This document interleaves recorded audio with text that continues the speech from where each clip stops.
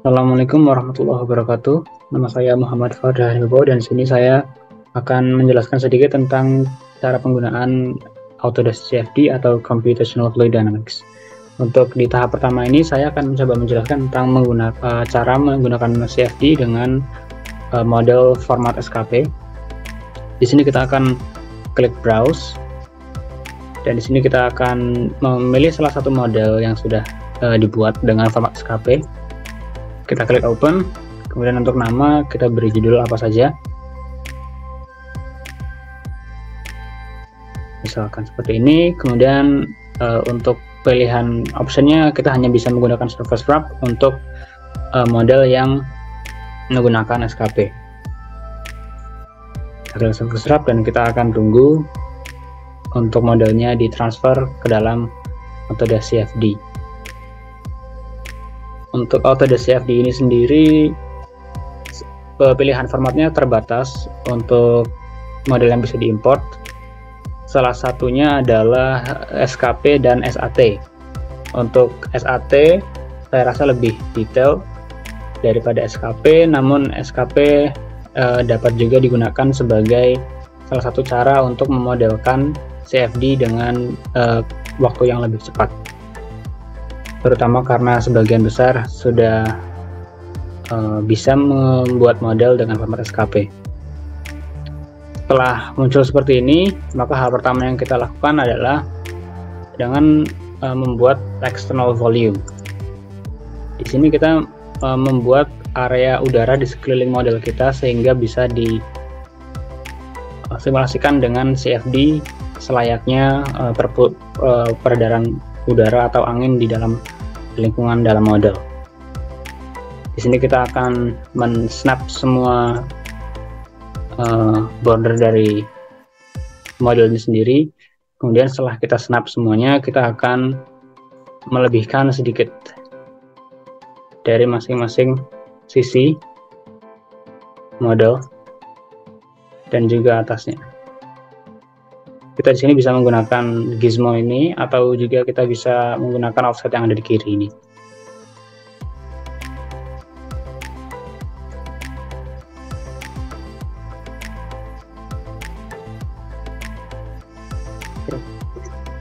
Setelah selesai kita bisa close dan kita bisa cek untuk resolution factor ini akan menentukan seberapa tajam untuk surface wrap yang akan kita buat di sekeliling model kita kekurangan dari format SKP adalah sering kali model yang di surface wrap itu uh, terlalu kecil atau terlalu detail untuk bukaannya sehingga surface wrap yang dihasilkan itu bergantung pada uh, jumlah poligon yang di generate di atas surface model yang tersedia. Jadi misalkan bukaannya terlalu kecil maka sering kali itu tidak akan terdeteksi dalam uh, model. Di sini kita bisa lihat untuk resolution faktornya itu ada 2,5 eh, di sini bisa kita geser ke kiri untuk model yang lebih cepat namun tidak detail atau lebih kanan. Untuk yang lebih detail namun akan uh, melambatkan proses render. Kemudian kita akan generate wrap. Dan di sini kita uh, akan menunggu. Setelah selesai proses wrap generation maka ini yang akan uh, disajikan pada layar. Setelah ini ini berarti untuk border di luar dari model yang telah kita buat sudah ada dan sini dan dari sini kita bisa transfer wrap untuk uh, menuju ke area simulasi. Setelah semuanya selesai kita di sini bisa uh, langsung menuju ke material editing. Jadi di sini kita klik materials.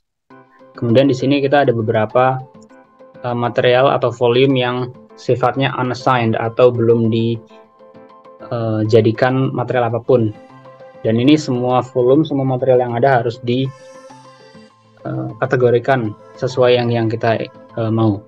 Misalkan di sini kita uh, punya beberapa volume kita bisa klik masing-masing dan ini kalau misalkan terselect maka akan berubah warnanya menjadi merah. Seperti ini. Misalkan tidak ada yang jadi merah kecuali nomor 6 berarti nomor 6 ini adalah uh, airspace yang tadi kita generate dengan menggunakan uh, wrap. Dari sini kita bisa klik. Untuk edit. Dan di sini kita bisa set sebagai fluid tipenya bisa fluid atau solid. Uh, yang lain saat ini kita akan menggunakan fluid dan uh, air atau udara. Sini kita apply kemudian kita uh, akan memiliki satu volume yang dia merupakan volume udara. Untuk melihat model di dalamnya kita bisa klik kanan kemudian kita klik outline. Maka yang model di dalamnya akan terlihat. Bisa dilihat konsekuensi dari penggunaan format SKP di sini kalau uh, wrap yang di generate itu tidak sepenuhnya tajam atau rapi. Bisa dilihat di sini banyak sekali surface yang tidak rata. Namun ini untuk uh, simulasi yang cepat dan menggunakan format SKP di, dapat dirasa cukup terutama jika hanya ingin mensimulasikan uh, arah angin dan juga kecepatan angin. Untuk yang unassigned kita bisa klik kemudian hold shift dan klik yang paling bawah dan kita klik kanan dan kita edit. Maka semua volume ini akan diassign ke satu material. Bisa di set menjadi material yang berbeda namun kali ini kita akan membuat satu material yang sama dengan menggunakan solid dan di sini kita akan set sebagai concrete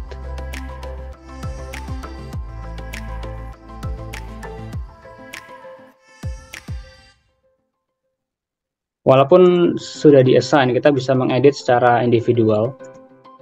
Masa-masa yang ingin kita ubah misalkan jenisnya.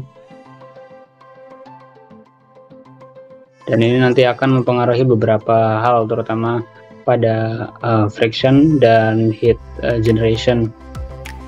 Cuma untuk kali ini mungkin tidak terlalu diperlukan sehingga kita akan lanjut ke uh, proses berikutnya yaitu uh, boundary condition. Di boundary condition ini adalah saat kita untuk uh, memberikan arah angin dan juga kecepatan. Jadi di sini ada uh, suatu airspace yang kita bisa masukkan angin dari keempat arah yang kita punya. Karena limitasi dari format SKP maka kita tidak bisa me memberikan arah angin yang terlokalisir di salah satu bukaan namun di sini kita hanya bisa menggunakan arah angin uh, eksterior seperti itu untuk uh, disimulasikan dalam program ini. Di sini uh, saya akan mensimulasikan satu ruangan dengan bukaan yang di depannya terdapat banyak obstacle. Nah, di sini saya mensimulasikan beberapa masa bangunan lain dan juga uh, seperti batang-batang pohon di depannya seperti itu. Di boundary condition kita klik surface, kita klik salah satu surface dan ketika surface ini terlihat uh, oranye ketika, ketika di hover atau merah ketika tidak di hover. Maka, maka itu sudah terselect dan kita bisa klik edit. Dan di sini kita bisa memasukkan uh, udara. Di sini ada dua yang bisa dilakukan yaitu bisa memasukkan velocity atau bisa memasukkan volume flow rate. Untuk volume flow rate maka kita harus tahu seberapa volume uh, yang uh, masuk dalam area ini, penampang ini dalam uh, suatu waktu tertentu. Untuk velocity di sini lebih simple, lebih straightforward, tapi akan sangat bergantung pada uh, luas penampang seperti itu. Di sini kita menggunakan meter per second dan misalkan di sini kita memasukkan uh, data kecepatan sebagai uh, 3,5 meter per second misalnya.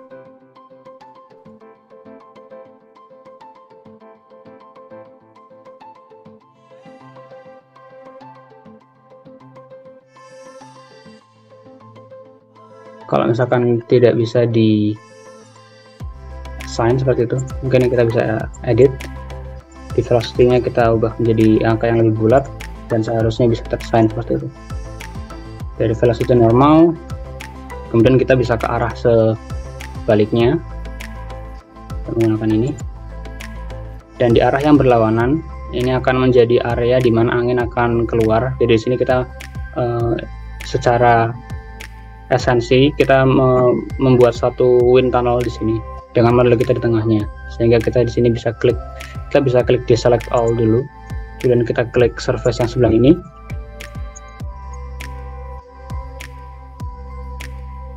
Dan kita di sini akan uh, mengedit. Di sini kita akan menggunakan pressure dan kita akan memasukkan 0 pascal di sini kita klik apply. Setelah ini kita bisa langsung uh, ke solve. Ini adalah itera, uh, iterasi. Jadi seberapa banyak pengulangan simulasi yang kita bisa lakukan untuk uh, value defaultnya 100 cuma bisa dikurangi menjadi 50 untuk komputer-komputer yang terlalu berat atau apa uh, takut untuk terlalu lama menjalankan simulasi sehingga untuk yang area uh, kasus pada kasus ini saya akan menggunakan 50 iterasi kita cek untuk ini. Kalau misalkan kita menggunakan heat transfer uh, dengan surface yang lebih detail kita bisa menggunakan heat transfer. Untuk kali ini kita hanya menggunakan flow. Dan sini kita bisa klik solve. Dan setelah ini kita menunggu sampai prosesnya selesai di output bar bawah sini nanti akan ada uh, grafik yang menunjukkan uh, proses uh, iterasi tadi atau proses rendering setelah uh, load seperti itu.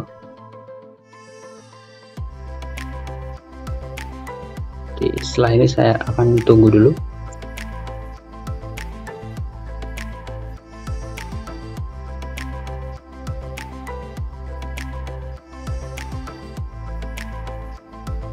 Sini kita bisa melihat kalau analisis sedang bekerja dan sebelum uh, grafik ini selesai sebelum proses simulasi dan iterasinya selesai uh,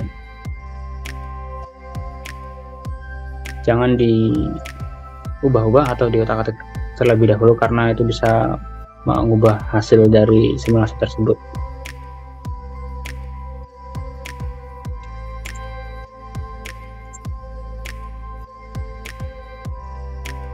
sudah kita bisa lihat kalau prosesnya sedang berada pada iterasi ketiga, keempat, dan kita akan menunggu sampai uh, selesai iterasi ke-50. Setelah mungkin 5 menit, uh, tergantung dari kompleksitas model, setelah ada tulisan simulasi atau analisis selesai, maka kita bisa melihat hasilnya.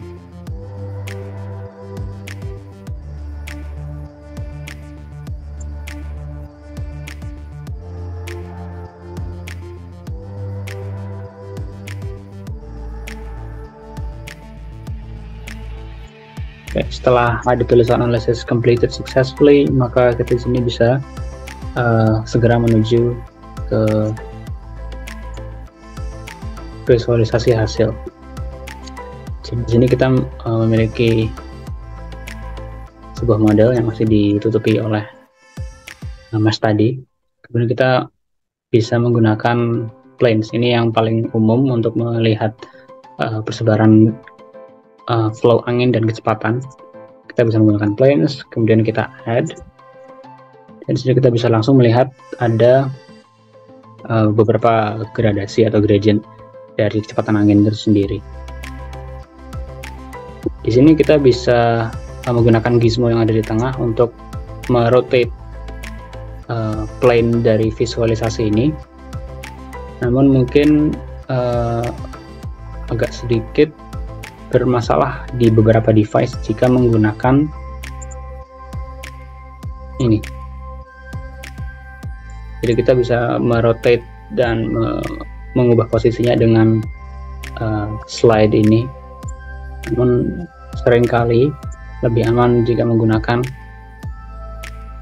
gizmo yang ada di tengah ini secara manual. Oke, setelah ini kita bisa melihat adanya uh, kecepatan angin yang berbeda-beda. Di sini kita menggunakan cm per detik. Dari sini kita bisa mengubah unitnya menjadi meter per second dengan mengklik kanan di area legend atau legenda yang ada di sebelah kiri. Dengan melihat meter per detik ini kita bisa menganalisis atau membuat beberapa analisa tentang kecepatan angin yang ada pada model. Di sini kita juga bisa mengubah ketinggian dari uh, visualisasi planar ini sesuai dengan apa yang kita inginkan untuk diperlihatkan seperti itu. Sini kita bisa melihat bahwa di area luar itu terdapat kecepatan angin yang cukup tinggi. Jadi di sini kita memiliki input angin sebesar 3 meter per sekon kemudian di arah sini karena ada sedikit turbulensi jadi kita memiliki kecepatan angin yang dipercepat sekitar 5 sampai 5,6 meter per second dan di area belakang sini kita uh, dapat melihat beberapa uh, area dengan tekanan udara yang rendah dan kecepatan angin yang kecil sekitar 0 sampai 1,5 meter per second. Misalkan kita ingin melihat uh, area di tengah bangunan ini secara lebih detail. Dan kita bisa menggunakan um, model mini yang ada di sebelah kanan atas untuk merotate tinggal klik kanan seperti ini. Di klik kiri sorry. Kita bisa menggunakan scroll untuk zoom dan untuk uh, orbit kita bisa menahan shift sambil uh, menahan mouse wheel. Jadi kita bisa orbit. Kita bisa melihat tampilan atas dan di sini kita bisa melihat modelnya dan hasilnya. Di sini kita juga bisa mengubah uh, tampilan dari uh, hasil yang kita lihat. Kita bisa ditutup output output barnya. Seperti ini kita bisa klik kanan, kemudian di options kita bisa mengklik user specified range dan di sini kita bisa geser slidernya ke arah kiri untuk lebih menunjukkan area interior. Seperti ini. Di sini kita bisa lihat kalau di area interior bangunan utama kita, maka ada beberapa area-area uh, yang memiliki kecepatan angin yang lebih tinggi dibandingkan yang lain. Dan di sini akan lebih jelas jika kita um, menurunkan batas atas dari uh, velocity magnitude yang kita punya sekarang. Kita bisa close dan kita bisa zoom in. Dan kita bisa melihat kalau ada perputaran uh, udara dari pojok ke arah dari arah depan ke bukaan pojok kanan atas di sini dengan kecepatan yang cukup tinggi pada bukaan namun kecepatan yang cukup rendah dan uh, istilahnya a gentle breeze pada tengah-tengah ruangan sini. Di sekitar 0,6 meter per second dan data ini bisa digunakan untuk uh, assessment. Ada juga untuk uh, penambahan vektor. Jadi di sini kita bisa klik vector settings dan di sini kita bisa klik resultsnya menggunakan velocity vector. Dan di sini kita bisa melihat adanya uh, arah-arah vektor dari angin. Jadi di sini kita tidak hanya melihat kecepatan angin namun juga arah dari angin tersebut. Di sini kita bisa uh, ubah ukuran dari panah vektornya tersebut dan juga uh, frekuensi atau kepadatan dari anak-anak anak panah fakta tersebut. Kita bisa memilih appearance yang shaded seperti yang tadi atau kita bisa pilih grid atau wireframe dan sebagainya. Untuk kali ini kita akan menggunakan shaded. Kita close dan di sini kita bisa melihat uh, modelnya dengan uh, tampilan aksonometri misalkan. Di sini kita bisa melihat bahwa anak panah faktornya juga tidak hanya terbatas pada planar, namun juga menunjukkan adanya perputaran angin secara uh, vertikal. Jika kita bisa lihat di sini ada beberapa angin yang uh, terdorong ke atas seperti ini. Dan beberapa data ini bisa digunakan uh, tergantung pada aplikasi masing-masing. Ini juga masih bisa digerakkan ke atas dan ke bawah seperti ini. Karena ini merupakan model dengan bukaan yang sederhana, maka hasilnya juga sederhana. Namun kita bisa melihat kalau di sini kita bisa menganalisis perputaran dari angin yang menerpa bukaan pada bangunan. Bisa juga bisa meroket seperti ini. Zoom in, pindahkan dan kita bisa melihat adanya air intake dan angin yang berembus keluar seperti ini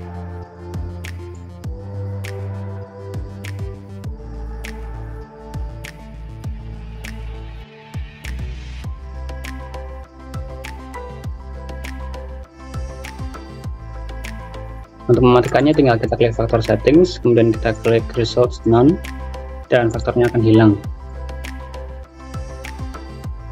Ini juga bisa kita balikkan. Kita bisa kita reset. Kita klik close. Dan di sini kita bisa menggunakan satu alat yang mungkin cukup berguna jika ingin memetakan uh, partikel atau apa ya arah angin secara individual. Jadi kita menggunakan trace dan trace ini akan mengikuti uh, planar jika ditempatkan. Namun jika planar yang disembunyikan maka akan mengikuti uh, model secara tiga dimensi. Kita bisa tempatkan di sini. Kita bisa add dulu.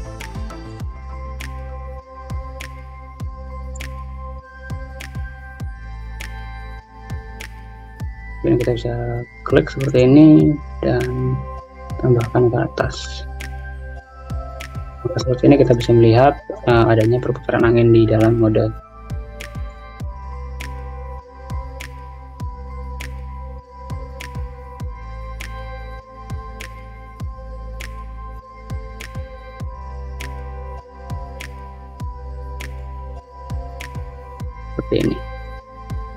karena ini masih menggunakan apa ya, ada satu, beberapa area trace yang mengenai angin yang uh, melewati bangunan lewat atas. Maka kita di sini uh, memiliki hasil yang uh, mix di sini.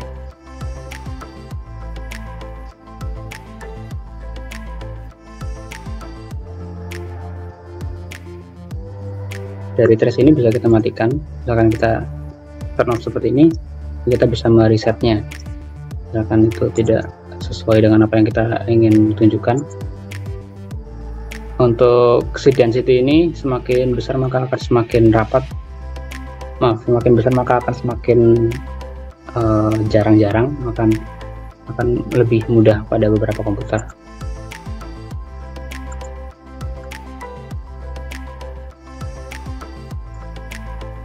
Dan kita bisa melihat adanya hasil yang lebih bersih. Dan ini juga patut diperhatikan karena kita menggunakan model SKP maka untuk view dari modelnya sendiri sering kali akan terhide seperti ini karena merupakan uh, surface wrap yang kita buat dari mesh tadi. Bisa kita klik view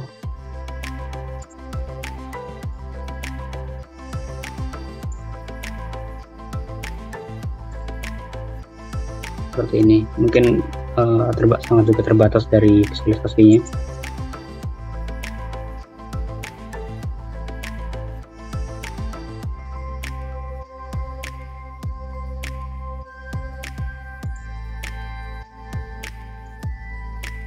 kita matikan untuk bisa kita hapus